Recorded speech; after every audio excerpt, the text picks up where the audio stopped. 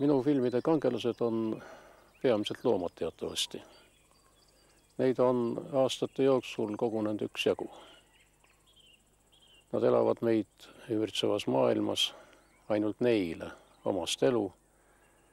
ja see meile nii tuttav ja kodune maailm näib neile hoopis teistsugusena kui meile, ainult et meie nende maailmadest teame suhteliselt vähe.